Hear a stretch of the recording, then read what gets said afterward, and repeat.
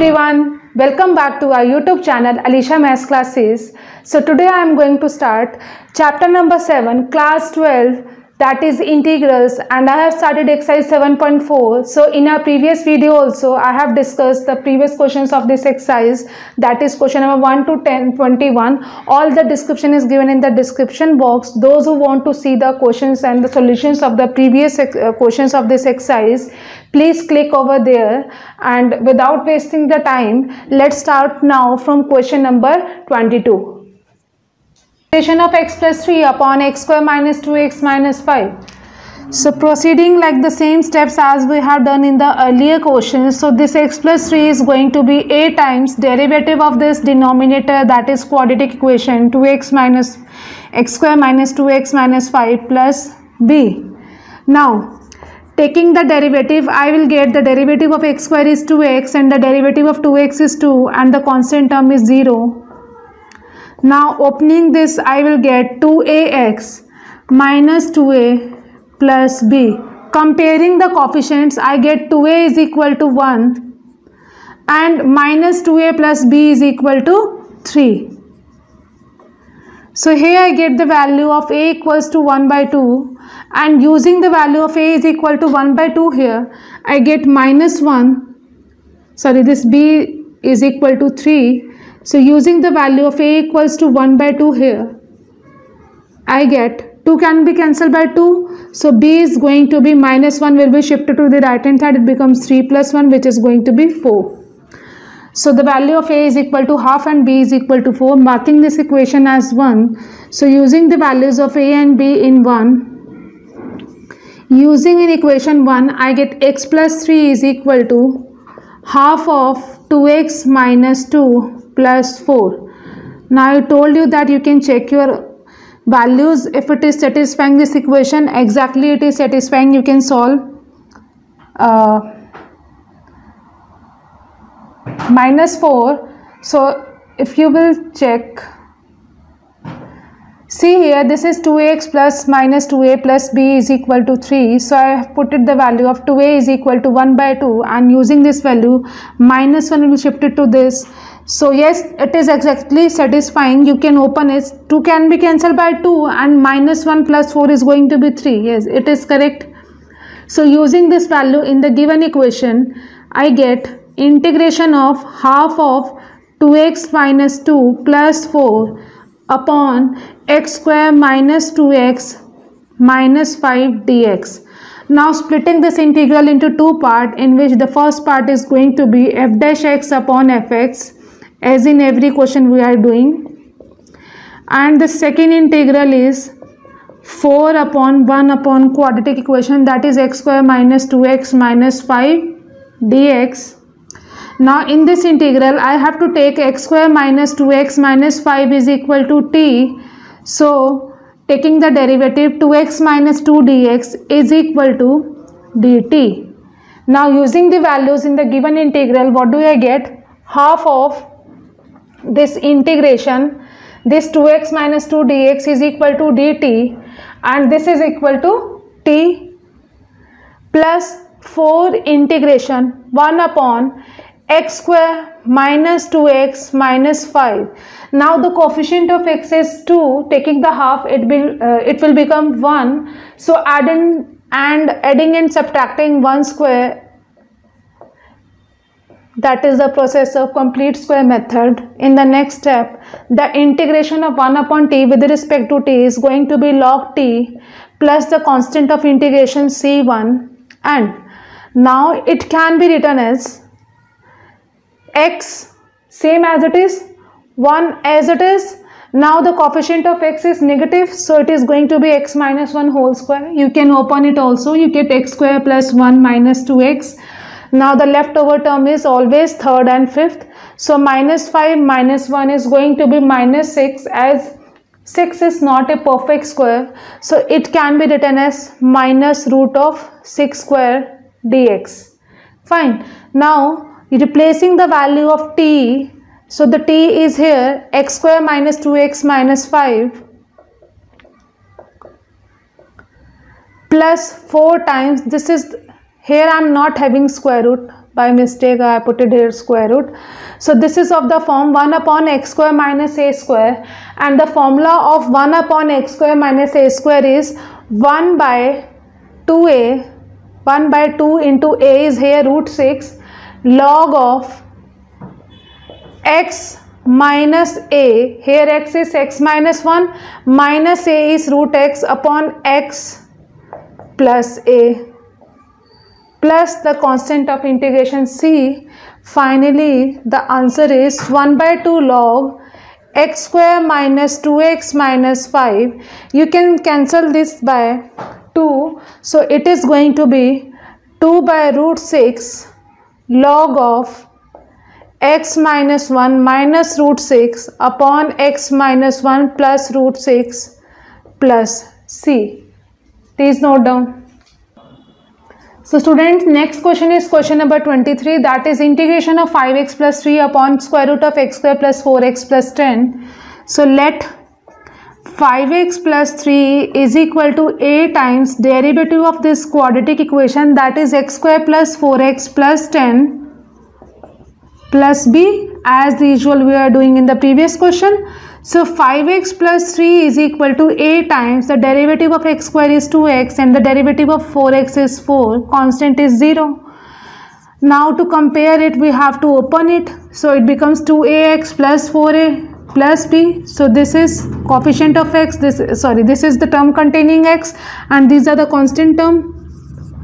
So by comparing we get 2a is equal to 5 2a is equal to 5 here I get the value of 5 a is equal to 5 by 2 and the value of 4a plus b is equal to 3 using the value of a is equal to 5 by 2 plus b is equal to 3 cancelling this 2 by 4 so 2 into 5 is going to be 10 and 3 minus 10 is going to be minus 7 so the value of b is equal to minus 7 mark this equation as 1 so using in equation 1 I get using an equation I get 5x plus 3 is equal to the value of a is 5 by 2 into 2x plus 4 and the b value of b is minus 7 again I am telling you when you will solve this equation 2 will be cancelled by 2 5 into x is 5x 2 will be cancelled by 4 so 5 into 2 is going to be 10 minus 7 which is equal to 3 so I told you better to check your question before putting the values in the given integral. So our values are correct. So using this value in the given integral, it becomes 5 by 2 into 2x plus 4 minus 7 upon square root of x square plus 4x plus 10 dx. So I hope that all of you are understanding the same steps we are doing in every question. We are not changing any single step we the, all the steps are same whenever the function is in the form of linear upon quadratic you have to follow the same step. So first integral is f dash x upon fx and minus 7 is a constant. You can take it outside and it, be, it becomes 1 upon square root of 1 upon square root of x square plus 4x plus 10 dx. Now you know that in the next part I am going to do this uh, I am going to take this x square plus 4x plus 10 is equal to t square because it, it is in square root to remove the square root or to simplify it I am taking this is equal to t square. So differentiating I get 2x plus 4 dx is equal to 2t dt. Now what I will do I will use this value in the given integral. So it becomes 5 by 2 5 by 2 integration. The value of 2x plus 4 dx is equal to 2t dt and the denominator is root of t square which becomes t minus 7 integration of here I have to apply the complete square method and the first step is already done that is coefficient of x square is equal to 1 now we have to just add and subtract half the coefficient of x whole square so the coefficient of x is 4. When we will half it, it becomes 2. So adding 2 square and subtracting 2 square. Okay. So t will be cancelled by 3 and 2 will be cancelled by 2. So the integration of 1 with respect to t is t. plus c1 minus 7 integration of 1 upon square root of x plus 2 whole square and 10 minus 4 is going to be 6 which can be written as square root of 6 whole square. Now just use the value of t from here. The value of t is square root of x square plus 4x plus 10. So this is x square plus 4x plus 10 minus 7 1 upon square root of x square plus a square. The integration of 1 upon root of x square plus a square is log of x in place of x I am having x plus 2 plus under root of x square plus a square that is x plus 2 whole square plus root 6 whole square plus the constant of integration that is c. So the final answer is 5 times under root of x square plus 4x plus 10 minus 7 times log of x plus 2 plus square root of we if after solving it we get the same question that is the quadratic equation which is given in the question that is x square plus 4x plus 10 i am telling you if you will solve it you are going to same you are get, going to get the same quadratic equation. So no need to waste your time in solving this equation. Always you get the same function which is given in the question. So this is answer. Please note down so students, next question is MCQ and this is very simple. This is actually of the form 1 upon quadratic equation. So better to use the uh, formula for the quadratic equation that is we have to make it complete square. Now half the coefficient of x that is half of 2 is going to be 1. So we have to add and subtract 1 square added 1 square and subtracted 1 square. So it becomes dx upon this is going to be x plus 1 whole square. As the coefficient of x is in positive so it is going to be positive. And 2 minus 1 is going to be 1 which can be written as 1 square. Now it is very simple. It is of the form 1 upon x square plus a square. And the answer is 1 upon a. A is here 1 tan inverse x upon a plus c which is going to be tan inverse x plus 1 plus c so our correct option is 1 upon tan inverse x plus 1 plus c. This is option number B. Please note down. So students, last final question of this exercise 7.4 that is question number 25th. Integration of dx upon square root of 9x minus 4x square. So see now, this is also very simple question. I told you that whenever we are having a quadratic equation, we have to follow the complete square method. So for that, we have to make the coefficient of x square is equal to 1. So I'll take minus 4 common outside. So I'll get x square minus 9 by 4x. Now I know that I can't take negative sign outside this square root.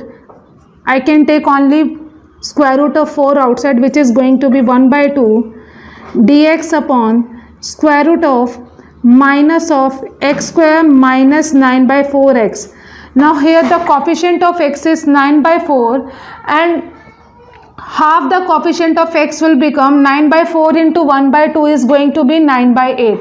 So I will add 9 by 8 whole square and subtract 9 by 8 whole square. So this is going to be half of integration of square root of minus of this become x minus 9 by 8 whole square because this is x and I have added 9 by 8 so 9 by 8 whole square. The coefficient of x is negative so it is going to be the formula of negative term and leftover is minus 9 by 8 whole square.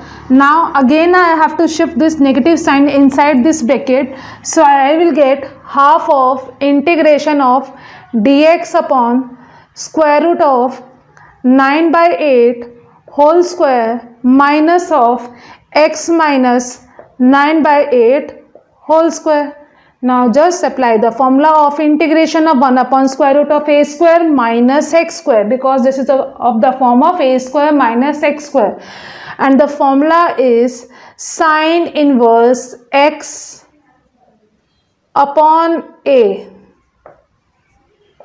plus constant of integration c So taking the LCM in the numerator, I get 8x minus 9 upon 9 as LCM 8 will be cancelled by 8. So this is our final answer. Just identify which part is this. This is actually part B, half of sine inverse 8x minus 9 upon 9 plus B. So this is correct answer. So students, here we have completed exercise 7.4 of chapter number 7, class 12.